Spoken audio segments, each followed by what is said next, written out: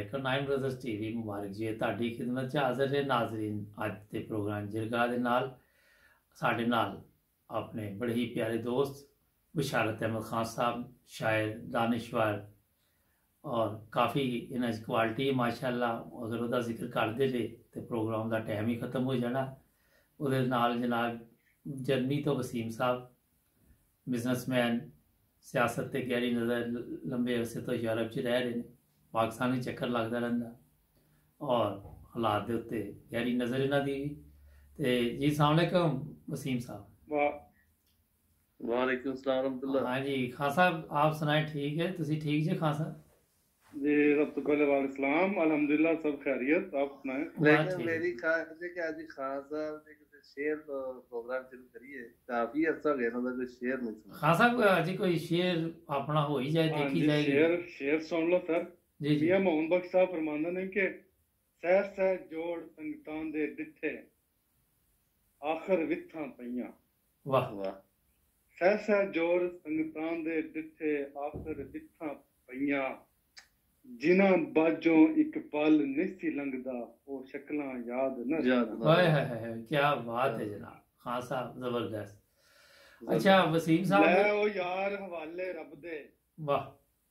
ਲੈ ਉਹ ਯਾਰ ਹਵਾਲੇ ਰੱਬ ਦੇ ਮੇਲੇ ਚਾਰ ਦਿਨਾਂ ਦੇ ਉਸ ਦਿਨ ਈਦ ਮੁਬਾਰਕ ਹੋਸੀ ਜਿਸ ਦਿਨ ਫਿਰ ਮਿਲਾਂਗੇ ਬਿਲਕੁਲ ਸਭ ਤੋਂ ਵਾਹ। ਪਹਿਲੇ ਤੇ ਤੇ ਨਾਜ਼ਰੀਨ ਸਾਡੀ ਤਾਂ ਕੱਲ ਈਦ ਹੈ ਸਰ ਜੀ ਇਸ ਮ- ਇਸ ਲਿਹਾਜ਼ ਨਾਲ ਮੈਂ ਤੁਹਾਨੂੰ ਇਹ ਸ਼ੇਅਰ ਅਰਜ਼ ਕੀਤਾ ਹੈ ਜਜ਼ਾਕ ਅੱਲਾ ਅੱਛਾ ਵਸੀਮ ਸਾਹਿਬ जी जरा ਤੁਸੀਂ ਤੇ ਸ਼ੇਰ ਨਹੀਂ ਸੁਣਾਣਾ ਮੈਨੂੰ ਲੱਗਦਾ ਨਾ ਕਿ ਤੁਸੀਂ ਵੀ नहीं ਸੁਣਾਣਾ नहीं मैं शेर सुनना ना ਅੱਜ ਤੁਸੀਂ ਸੁਣਦੇ ਜੇ ਅੱਛਾ ਗੁਜ਼ਾਰਿਸ਼ ਹੈ ਵਾ ਕਿ ਮੈਂ ਸੋਚਿਆ ਸੀ ਕਿ ਪਾਕਿਸਤਾਨ ਅੱਜ ਅਸੀਂ ਗੱਲਬਾਤ ਕਰਾਂਗੇ ਕਿ ਕਿਆ ਵਜ੍ਹਾ ਉੱਥੇ ਅਜ ਤੱਕ ਅਦਾਰੇ ਜਿਹੜੇ ਉਹ ਠੀਕ ਕੰਮ ਕਿਉਂ ਨਹੀਂ ਕਰ ਸਕੇ।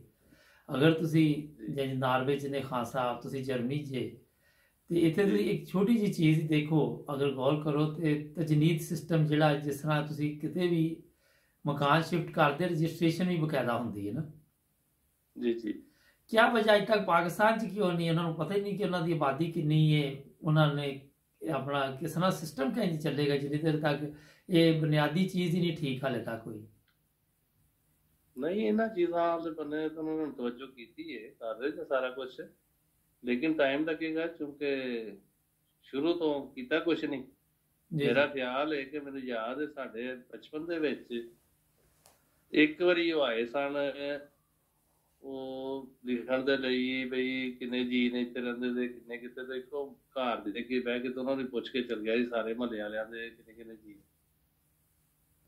ਨਹੀਂ ਲੇਕਿਨ ਤੁਸੀਂ ਸਾਹਿਬ ਤੁਸੀਂ ਜਰਮਨੀ 'ਚ ਰਹਿੰਦੇ ਜੇ ਇੱਥੇ ਘਰ ਆ ਕੇ ਤੇ ਨਹੀਂ ਪੁੱਛਣ ਆਉਂਦੇ ਇੱਥੇ ਤੇ ਤੁਸੀਂ ਆਪ ਜਾ ਕੇ ਉੱਥੇ ਰਜਿਸਟ੍ਰੇਸ਼ਨ ਕਰਾਉਂਦੇ ਜੇ ਰਾਤਾ ਉੱਤੇ ਭਾਈ ਨੂੰ ਨਾਦਰਾ ਦਾ ਸਿਸਟਮ ਠੀਕ ਹੋ ਰਿਹਾ ਇਸ ਤਰ੍ਹਾਂ ਇਸ ਟਾਈਮ ਲੱਗਣਾ ਕਿ ਜਿਹੜੀ ਕੌਮ 50 ਸਾਲ ਸੁੱਤੀ ਰਹੀ ਹੋਏ। ਜੀ ਜੀ। ਤੇ ਕਦੇ ਵੀ 50 ਸਾਲ ਬਾਅਦ 50 ਸਾਲ ਕੋਈ ਬੰਦਾ ਸੁੱਤਾ ਰਹੇ ਤੇ 50 ਸਾਲ ਬਾਅਦ ਉੱਠ ਕੇ ਕਦੇ ਵੀ ਮੈਂ ਹੁਣ ਜਿਹੜੇ 50 ਸਾਲ ਨੇ ਇੱਕ ਦਿਨ ਦੇ ਵਿੱਚ ਉਹਨਾਂ ਨੂੰ ਕਵਰ ਕਰ ਜਾਂਦੇ ਨਾ ਟਾਈਮ ਲੱਗਣਾ ਕਿਉਂ ਖਾਨ ਸਾਹਿਬ ਨਾਰਵੇ 'ਚ ਵੀ ਇੰਜੀ ਹੈ ਨਹੀਂ ਸਰ ਨਾਰਵੇ ਚ ਬਿਲਕੁਲ ਇਸ ਤਰ੍ਹਾਂ ਨਹੀਂ ਹੈ ਔਰ ਤੁਸੀਂ ਪੁੱਛਿਆ ਕਿ ਉੱਥੇ ਅਦਾਰੇ ਕਿਉਂ ਨਹੀਂ ਕੰਮ ਕਰ ਰਹੇ ਮੇਰੀ ذاتی رائے ਦੇ ਮੁਤਾਬਕ ਇਹ ਸਾਰਾ ਜਿਹੜਾ ਖੇਲ ਹੈ ਉਹ ਇਕਤਦਾਰ ਦਾ ਹੈ। ਅਹ ਜਿਹੜੀਆਂ ਸਿਆਸੀ ਪਾਰਟੀਆਂ ਨੇ ਉਹ ਆਪਣੇ ਇਕਤਦਾਰ ਨੂੰ ਤੂਲ ਦੇਣ ਵਾਸਤੇ ਜੀ ਜੀ By hook or by crook ਉਹ। ਅਦਾਰਿਆਂ ਨੂੰ ਇਸਤੇਮਾਲ ਕਰਦੇ ਨੇ। ਜੀ ਜੀ। ਤਾਂ ਕਿ ਉਹ ਆਪਣੇ ਅਗਲੇ ਆਉਣ ਵਾਲੇ ਇਲੈਕਸ਼ਨ ਦੇ ਵਿੱਚ ਸਿਲੈਕਟ ਹੋ ਕੇ ਤੇ ਫਿਰ ਹੁਕੂਮਤ ਚਾ ਸਕਣ। ਜੀ ਜੀ। ਬਾਰ ਬਾਰ ਅਸਲ ਚ ਆ ਜਾ ਕੇ ਮੌਲਵੀਆਂ ਦੀ ਗੱਲ ਹੁੰਦੀ ਹੈ। ਬੇਸਿਕਲੀ ਗੱਲ ਇਹ ਹੈ ਕਿ ਹਾਲੇ ਤੱਕ ਰਿਆਸਤ ਤੇ ਪਾਕਿਸਤਾਨ ਜਿਹੜੀ ਉਹ ਆਪਣੀ ਬਕਾਇਦਾ ਰੀਤੀ ਕਾਇਮ ਨਹੀਂ ਕਰ ਸਕੀ। ਜੀ ਜੀ। ਲਾਅ ਐਂਡ ਆਰਡਰ ਨੂੰ ਸਹੀ ਤਰ੍ਹਾਂ ਲਾਗੂ ਨਹੀਂ ਕਰ ਸਕੀ। ਔਰ ਇਹਦੇ ਵਿੱਚ ਸਿਰਫ ਸਿਰਫ ਸਿਆਸਤਦਾਨਾਂ ਦਾ ذاتی ਮਫਾਦ ਹੈ ਔਰ ਇਹਦੇ ਨਾਲ ਮੁਲਕ ਕਾਫੀ ਪਿੱਛੇ ਜਾ ਰਿਹਾ ਹੈ ਇਹ ਇਹਨਾਂ ਨੂੰ ਨਹੀਂ ਕਰਨਾ ਚਾਹੀਦਾ ਲੇਕਿਨ ਗੱਲ ਹੈ ਵਾ ਆਪਣਾ ਅ, ਖਾਨ ਸਾਹਿਬ ਸਿਆਸਤਦਾਨਾਂ ਦਾ ਤੇ ਹੈ ਲੇਕਿਨ ਗਵਰਨਮੈਂਟ ਦੇ ادارے ਵੀ ਤੇ ਆਪਣੇ ਤੌਰ ਤੇ ਕੋਸ਼ਿਸ਼ ਕਰਕੇ ਤੇ ਇਹਨਾਂ ਨੂੰ ਆਪਣੇ ਆਪ ਨੂੰ ਠੀਕ ਕਰ ਸਕਦੇ ਨੇ ਅਸਲ 'ਚ ਭਾਈਜਾਨ ਗੱਲ ਇਹ ਹੈ ਕਿ ਗਵਰਨਮੈਂਟ ਦੇ ਅਦਾਰਿਆਂ ਦੇ ਵਿੱਚ ਬੇਸਿਕਲੀ ਜਿਹੜੀਆਂ ਭਰਤੀਆਂ ਨੇ ਉਹ ਪੋਲੀਟੀਕਲ ਬੇਸ ਤੇ ਹੁੰਦੀਆਂ ਨੇ ਬਿਲਕੁਲ ਜਦੋਂ ਪੋਲੀਟੀਕਲ ਬੇਸ ਤੇ ਉੱਤੇ ਮੈਰਿਟ ਨਹੀਂ ਹੋਏਗਾ ਤੁਸੀਂ ਦੇਖ ਲਓ ਜਿਸ ਜਿਸ ਅਦਾਰੇ ਦੇ ਵਿੱਚ ਮੈਰਿਟ ਹੈ ਜੀ ਜੀ। ਜਿਸ ਤਰ੍ਹਾਂ ਤੁਹਾਡੇ ਸਾਹਮਣੇ ਤੁਹਾਡਾ ਫੌਜ ਦਾ ਅਦਾਰਾ ਹੈ। ਜੀ ਜੀ। ਇਹਦੇ ਵਿੱਚ ਟੋਟਲ ਮੈਰਿਟ ਹੈਗਾ ਔਰ ਤੁਸੀਂ ਦੇਖ ਲਓ ਕਿੰਨਾ ਫਾਲ ਹੈ ਫੰਕਸ਼ਨਲ ਹੈਗਾ। ਠੀਕ ਹੈ ਲੋਕ ਤਨਕੀਦ ਵੀ ਕਰਦੇ ਨੇ ਉਹਨਾਂ ਦੇ ਉੱਤੇ ਲੇਕਿਨ ਕੁਝ ਵੀ ਹੋ ਜਾਏ ਜੀ ਜੀ। ਉਹ ਆਪਣੀ ਇੱਕ ਖਾਸ ਸਿਮਨ ਦੇ ਵਿੱਚ ਚੱਲਣ ਰਿਹਾ ਹੈ ਔਰ ਬਿਲਕੁਲ ਫੰਕਸ਼ਨਲ ਹੈਗਾ।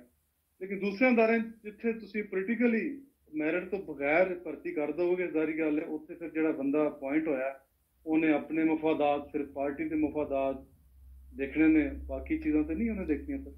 ਵਸੀਮ ਸਾਹਿਬ, ਤੁਸੀਂ ਅਗਲੇ ਦਿਨ ਦੇਖੀ ਹੋਣੀ ਸੋਸ਼ਲ ਮੀਡੀਆ ਤੇ ਇੱਕ ਖਤੂਨ ਨੇ ਮੁਸੀਬਤ ਬਣਾਈ ਦੀ ਸੀ ਕਿ ਮੈਂ ਕਰਨਲ ਦੀ ਬੀਵੀ ਹਾਂ ਕਿਉਂਕਿ ਇਹਨਾਂ ਨੇ ਆਪਣਾ ਖਾਨ ਨੇ ਫੌਜ ਦੀ ਗੱਲ ਕੀਤੀ। ਉਹਨੇ ਆਪਣਾ ਪੁਲਿਸ ਵਾਲਾ ਜਾਂ ਜੋ ਵੀ ਕਿਸੇ ਦੀ ਗੱਲ ਨਹੀਂ ਸੁਣੀ। ਲੇਕਿਨ ਉਹਦੀ ਜਗ੍ਹਾ ਤੇ ਕੋਈ ਗਰੀਬ ਔਰਤ ਹੁੰਦੀ ਤੇ ਉਹਦੇ ਨਾਲ ਪੁਲਿਸ ਦਾ ਕੀ ਸਲੂਕ ਹੁੰਦਾ ਇਹਦੀ ਕੀ ਵਜ੍ਹਾ ਉੱਥੇ? ਗਰੀਬ ਔਰਤ ਹੁੰਦੀ ਤੇ ਉਹਨੇ ਭਾਈਜਾਨ ਇਹੋ ਜਿਹੀ ਕਦੀ ਨਹੀਂ ਸੀ ਕਰਨੀ।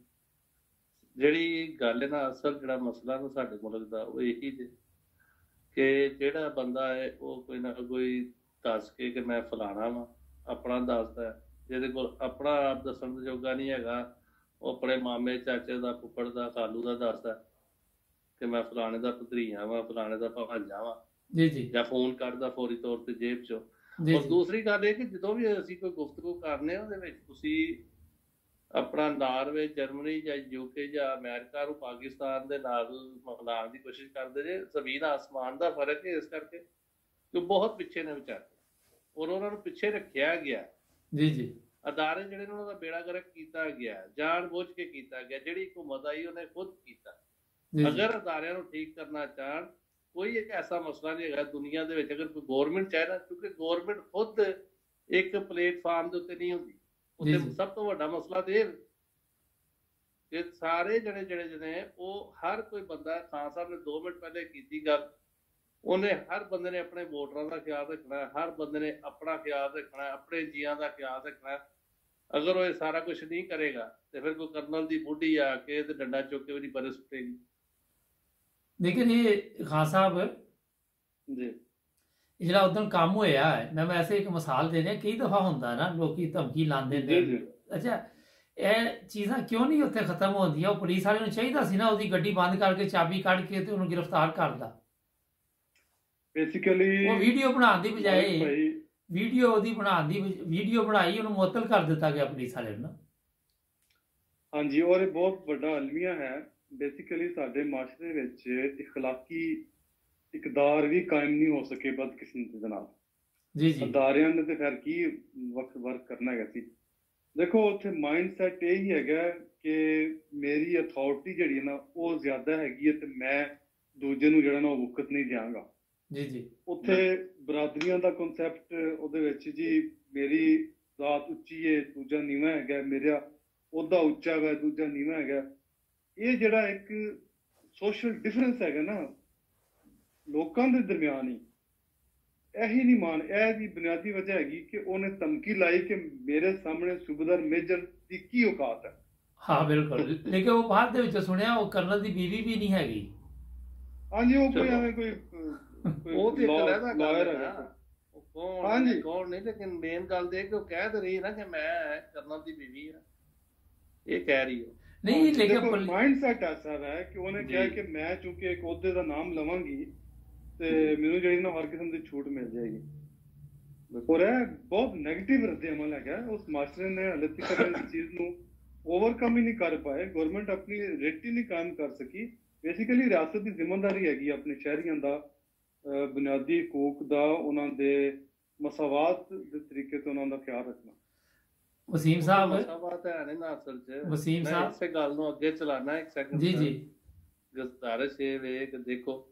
ਉਹ ਤੁਸੀਂ ਕਹਿ ਰਹੇ ਸੀ ਕਿ ਪੁਲਿਸ ਵਾਲਾ ਚਾਬੀ ਕੱਢਦਾ ਹੈ ਕਰਦਾ ਕਰਦਾ ਵਿਚਾਰਾ ਕਰ ਨਹੀਂ ਸਕਦਾ। ਠੀਕ? ਅੱਜ ਅਗਰ ਇਹ ਥੋੜਾ ਜਿੰਨਾ ਐਡਵਾਂਟੇਜ ਇਸ ਚੀਜ਼ ਦਾ ਕਿ ਕੋਈ ਵੀਡੀਓ ਬਣਾ ਲਈ ਜਾਂ ਕੁਝ ਕਰ ਲਿਆ।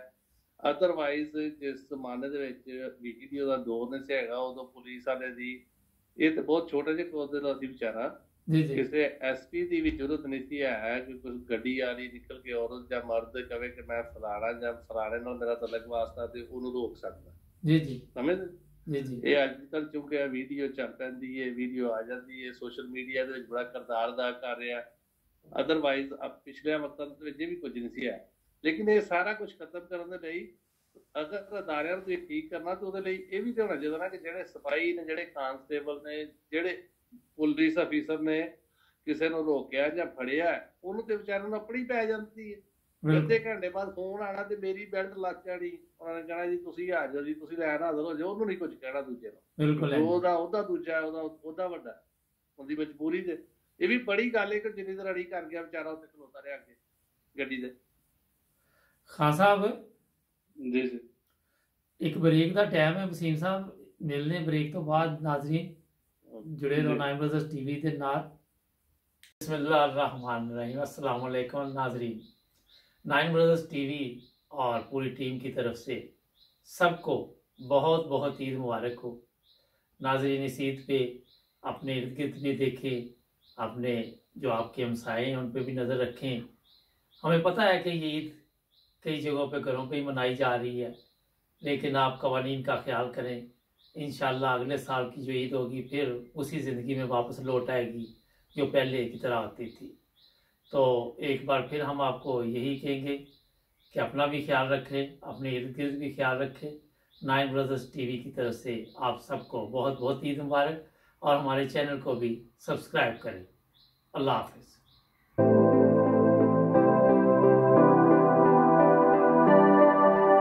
ब्रेक तो बाद दोबारा ਮੁਬਾਰਕ ਜਵੇਦ ਤੇ ਨਾਲੇ ਤੋਂ ਬਿਸ਼ਾਰਤ ਅਹਿਮਦ ਖਾਨ ਸਾਹਿਬ ਤੇ ਜਰਮਨੀ ਫਰੈਂਕਫਰਟ ਰੋਨਹਾਈਮ ਤੋਂ ਵਸੀਮ ਸਾਹਿਬ। ਜੀ ਵਸੀਮ ਸਾਹਿਬ ਗੱਲ ਹੈ ਵਾ ਕਿ ਇਹ ਇਮਰਾਨ ਖਾਨ ਜਦੋਂ ਆਇਆ ਜੀ। ਇਹਨੇ ਜਿੱਥੇ ਬੇਸ਼ੁਮਾਰ ਵਾਅਦੇ ਕੀਤੇ ਉਹਦੇ ਵਿੱਚ। ਇਹ ਵੀ ਸੀ ਕਿ ਮੈਂ ਪੰਜਾਬ ਪੁਲਿਸ ਨੂੰ ਜਾਂ ਪਾਕਿਸਤਾਨ ਦੀ ਪੁਲਿਸ ਨੂੰ ਕਰਾਂਗਾ ਠੀਕ। ਕੱਲ ਇੱਕ ਪ੍ਰੋਗਰਾਮ ਮੈਂ ਦੇਖਿਆ ਵੀਡੀਓ ਦੇਖੀ ਬੜੀ ਤਕਲੀਫ ਦੇ ਸੀ। ਉਹਦੇ ਵਿੱਚ ਪੁਲਿਸ ਤਸ਼ੱਦਦ ਦੇ ਨਾਲ ਉਹਨਾਂ ਦੇ ਉੱਤੇ ਸਿਗਰਟ ਵੀ ਲਗਾਈ ਉਹਨਾਂ ਨੇ ਜਿਸਮ ਦੇ ਉੱਤੇ ਉਹਨਾਂ ਨੂੰ ਪੈਟਰੋਲ ਪਿਆਉਂਦੇ ਰਹੇ। ਮੈਂ ਵੀ ਦੇਖਿਆ ਪ੍ਰੋਗਰਾਮ ਜੀ। ਅੱਜ ਤੁਸੀਂ ਵੀ ਦੇਖਿਆ। ਇਹ ਕਿਹੜੇ ਪਾਸੇ ਜਾ ਰਹੇ? ਕਿਆ ਇਹ ਪੁਲਿਸ ਦੇ ਵਿੱਚ ਜਿਹੜੇ ਲੋਕ ਭਰਤੀ ਹੁੰਦੇ ਉਹਨਾਂ ਦੇ ਵਿੱਚ ਕੋਈ ਇਨਸਾਨੀਅਤ ਨਹੀਂ ਜਾਂ ਉਹਨਾਂ ਨੂੰ ਕੋਈ ਇਸ ਚੀਜ਼ ਦੀ ਸ਼ਰਮ ਹਿਆ ਨਹੀਂ ਕਿ ਅਸੀਂ ਕੀ ਕਰਦੇ ਪਏ? ਗੱਲ ਇਹ ਵੇ ਕਿ ਇਮਰਾਨ ਖਾਨ ਜਿਹੜਾ ਮੈਂ ਅੱਗੇ ਕਈ ਦਫਾ ਇਹ ਗੁਜ਼ਾਰਿਸ਼ ਕਰ ਚੁੱਕਿਆ ਹਾਂ ਕਿ ਇੱਕ ਬੇਕਸੂਰ ਇਨਸਾਨ ਹੈ। ਠੀਕ ਹੈ। ਫੇਰ ਕੰਮ ਕਰਨਾ ਚਾਹੁੰਦਾ ਹੈ ਕੰਮ ਕਰਨ ਨਹੀਂ ਦਿੱਤਾ ਜਾ ਰਿਹਾ ਉਹਦੇ ਕੋਲੋਂ ਉਹ ਹੋ ਨਹੀਂ ਰਿਹਾ।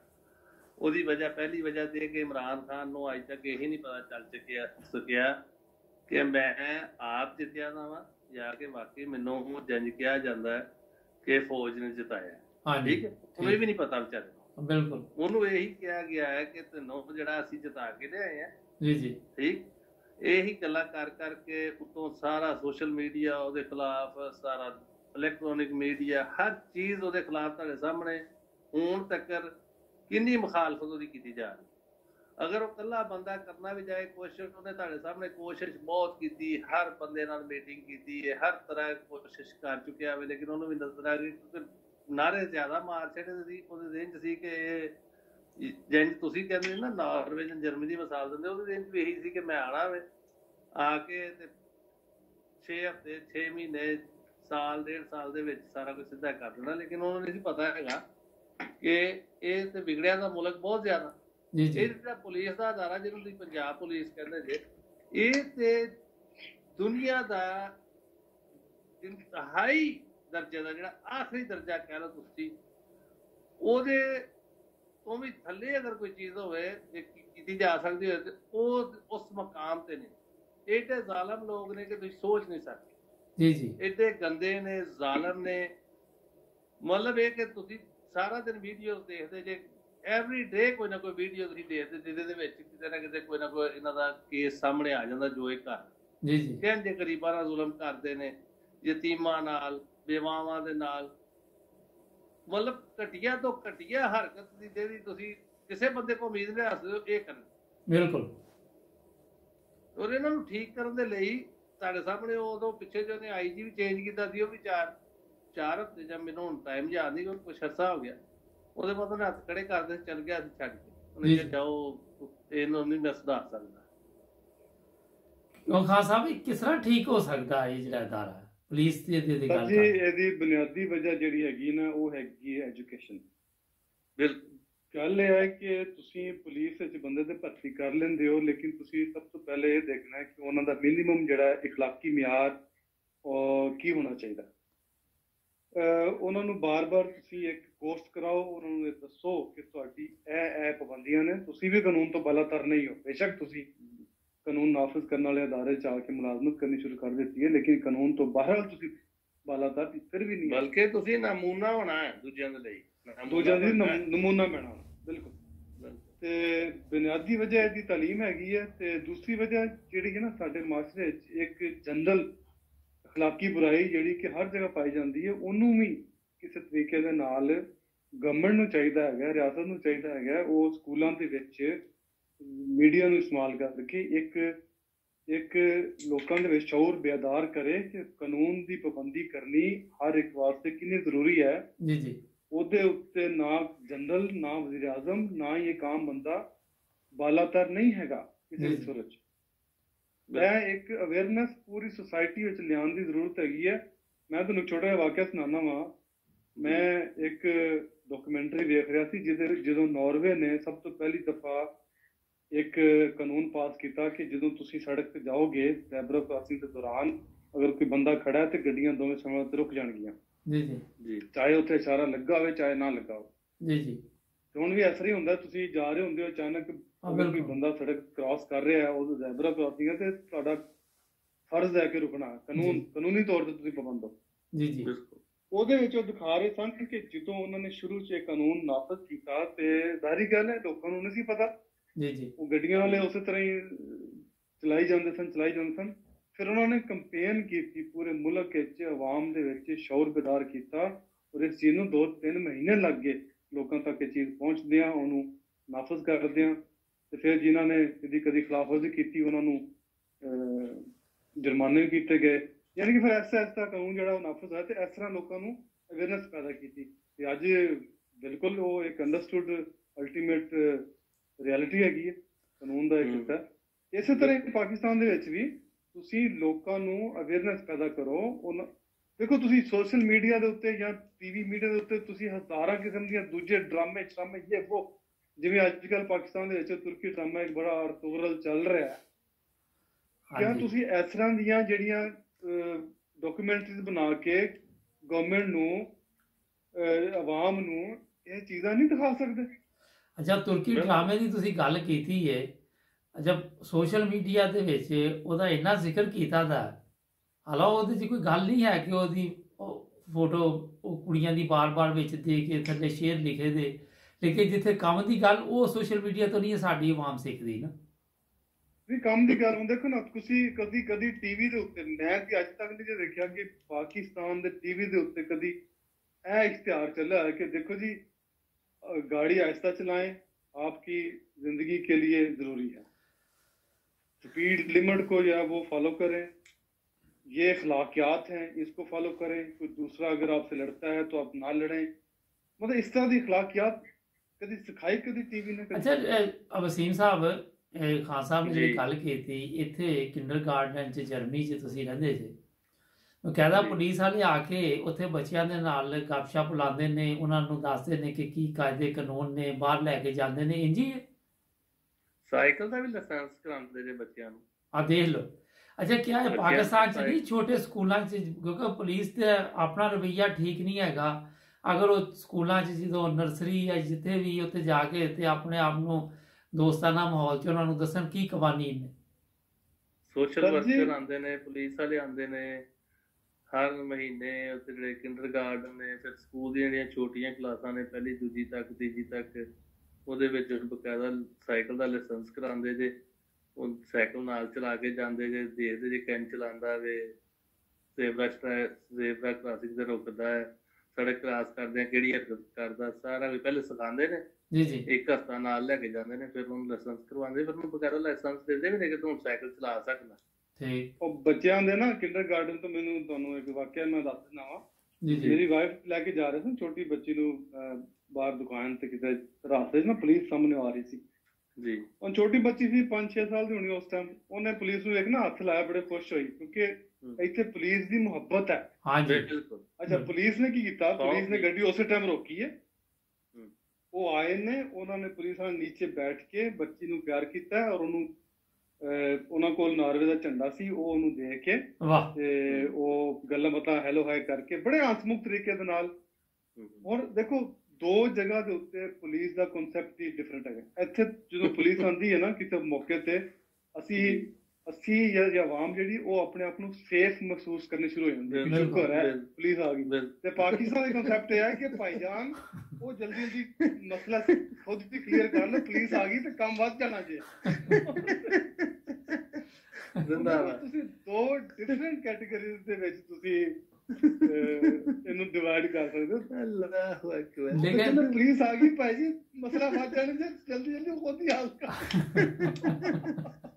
ਲਓ ਜੀ ਬ੍ਰੇਕ ਦਾ ਟਾਈਮ ਹੋ ਗਿਆ ਨਾਜ਼ਰੀਨ ਇੱਕ ਬ੍ਰੇਕ ਤੇ ਬ੍ਰੇਕ ਤੋਂ ਬਾਅਦ ਫਿਰ जुड़े रहो नाइन ब्रदर्स टीवी के नाल दोबारा हाजिर होने हैं नाजरीन अगर अभी तक आपने नाइन ब्रदर्स टीवी सब्सक्राइब नहीं किया तो देर किस बात की जी हाँ कीजिए सब्सक्राइब और बदल दीजिए अपने घर का माहौल। नाइन ब्रदर्स टीवी पे आपको मिलेंगे अच्छे अच्छे प्रोग्राम। नए नए दोस्त नए नए मेहमान और कीमती मशवरे। नाइन ब्रदर्स टीवी एक इंटरनेशनल चैनल बन चुका है। जी हाँ पाकिस्तान हो, जर्मनी हो या इंग्लैंड, और या हो अमेरिका, हर जगह पे हम आएँगे आपको नज़र। अगर आपके पास भी कोई मशवरा हो तो हमें कीजिए कॉल। तो कर ले अभी सब्सक्राइब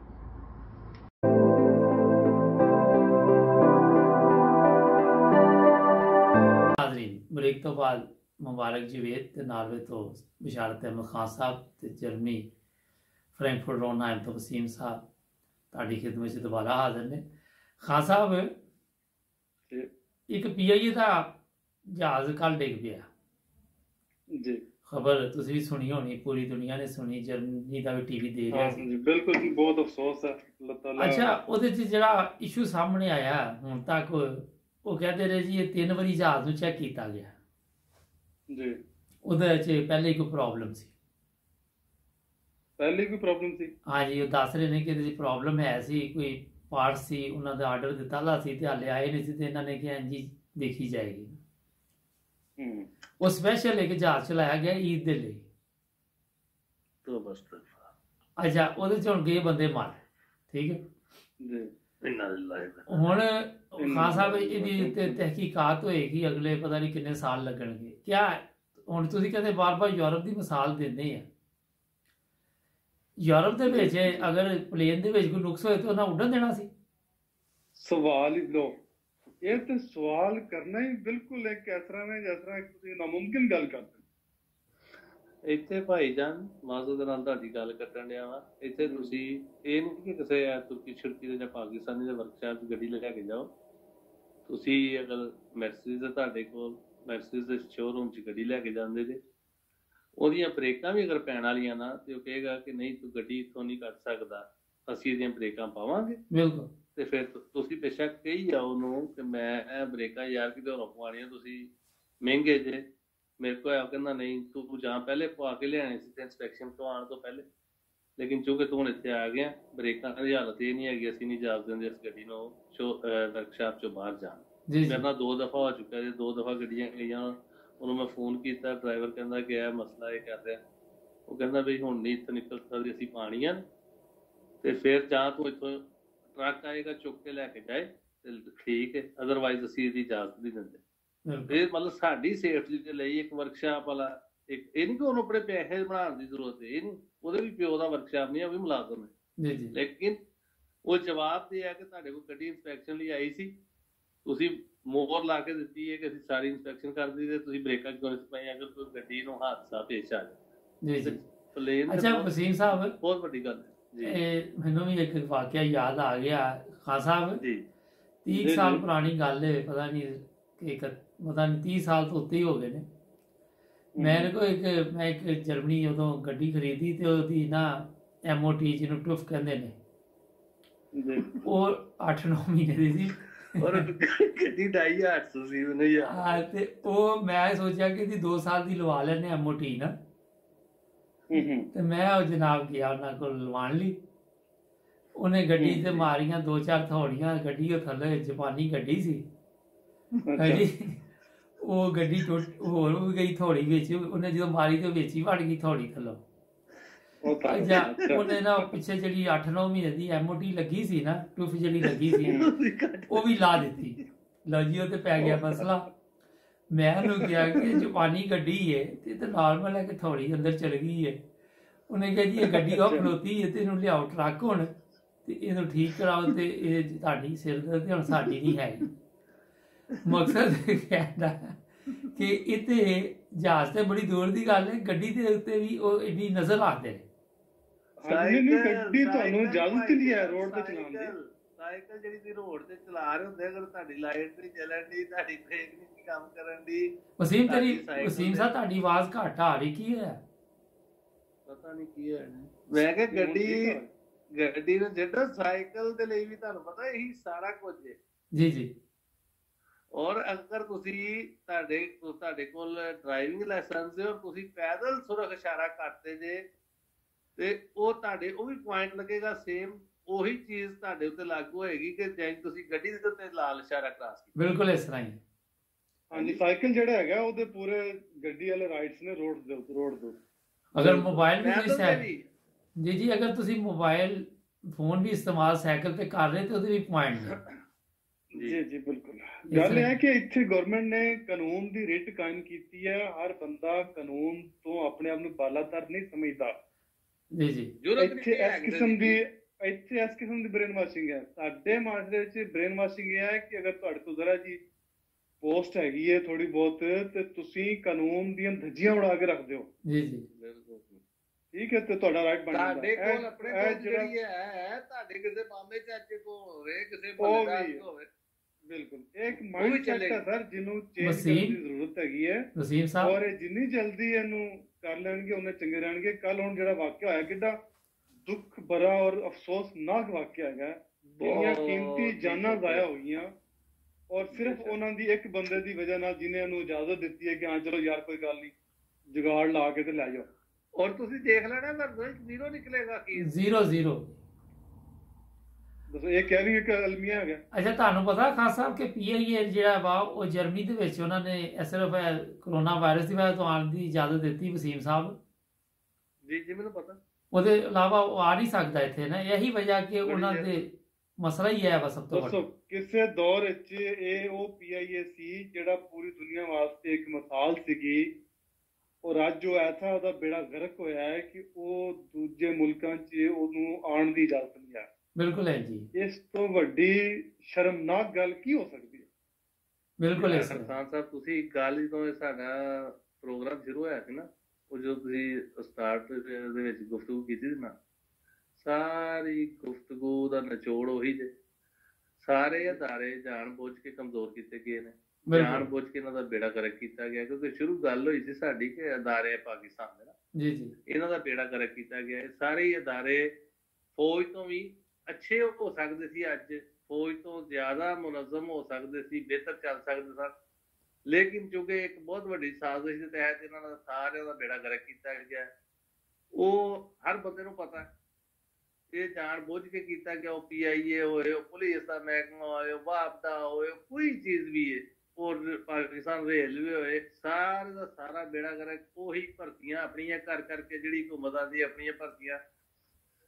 ਇੱਕ ਮਹਿਕਮਾ ਜਿਹੜਾ ਵੇ, ਉਹ 20000 ਰੁਪਇਆ ਕਮਾਉਣ ਵਾਲਾ ਵੇ, ਉਹਦੇ, ਉਹਨੂੰ ਤਨਖਾਹਾਂ ਹੀ 2 ਲੱਖ ਦੀਆਂ ਪਾ ਦਿਓ ਤੁਸੀਂ ਹਰ ਮਹੀਨੇ ਦਾ ਬੇੜਾ ਗਰਕ ਹੋਣਾ। ਫਿਰ ਤੁਸੀਂ ਨਾਹਲ ਲੋਕਾਂ ਨੂੰ ਲਾ ਦੇ ਵਿੱਚ ਉਹ ਪੀਆਈਏ ਹੋਏ ਸਟੀਲ ਮਿਲ ਹੋਏ ਕੋਈ ਵੀ ਚੀਜ਼ ਗੱਲ ਚੀਜ਼ ਲੰਮੀ ਹੋ ਜਾਏਗੀ। ਉਹਨਾਂ ਦਾ ਬੇੜਾ ਗਰਕ ਕੀਤਾ ਗਿਆ ਵੇ ਜਿਹੜੀ ਹੁਕੂਮਤ ਆਂਦੀ ਗਈ ਹੈ ਫਿਰ ਅਸੀਂ ਬੜੀ ਦੀ ਮਿਸਾਲ ਦਿੰਨੇ ਆ ਮਾਸ਼ਾਅੱਲਾ ਆਪਣੀ ਫੌਜ ਦੀ।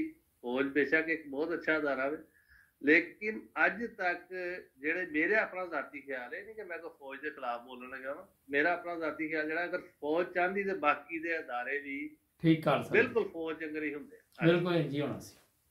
ਅਸਲ 'ਚ ਗੱਲ ਇਹ ਹੈ ਕਿ ਵਜ਼ੀਮ ਭਾਈ ਫੌਜ ਜਿਹੜੀ ਹੈਗੀ ਹੈ ਉਹਦਾ ਬੇਸਿਕਲੀ ਮੁਲਕ ਦੀ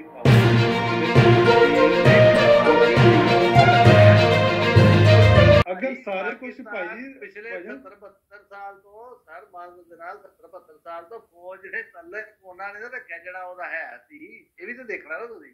ਹਾਂਜੀ। ਜਿੰਨਾ ਦੇਰ ਵੈਸੇ ਫੌਜ ਨੇ ਇਹਨੂੰ ਰੱਖਿਆ ਹੋਇਆ ਹੈ, ਜਿਵੇਂ ਮਿਸਾਲ ਤੌਰ ਤੇ ਯੂਬ ਖਾਨ ਦੇ ਦੌਰ ਵਿੱਚ ਜਾਂ ਜੋ ਵੀ ਜਿੰਨੇ ਤੁਹਾਡੇ ਡੈਮ ਵਗੈਰਾ ਨੇ ਤਰੱਕੀਆਤ ਉਹਨਾਂ ਦੌਰ 'ਚ ਹੋਈ ਹੈ। ਲਓ ਜੀ ਖਾਨ ਸਾਹਿਬ ਇਹ ਅਗਲੇ। ਪ੍ਰੋਗਰਾਮ ਤੇ ਵੀ ਗੱਪਸ਼ਪ ਹੋਏਗੀ। ਨਾਜ਼ਰੀਨ ਟਾਈਮ ਖਤਮ ਹੋ ਰਿਹਾ ਪ੍ਰੋਗਰਾਮ ਦਾ ਜੁੜੇ ਰਹੋ ਨਾਈਨ ਬ੍ਰਦਰਸ ਟੀਵੀ ਦੇ ਨਾਲ। ਖਾਨ ਸਾਹਿਬ ਤੁਹਾਡਾ ਬਹੁਤ ਸ਼ੁਕਰੀਆ ਵਸੀਮ ਸਾਹਿਬ ਤੁਹਾਡਾ ਵੀ ਬਹੁਤ ਸ਼ੁਕਰੀਆ।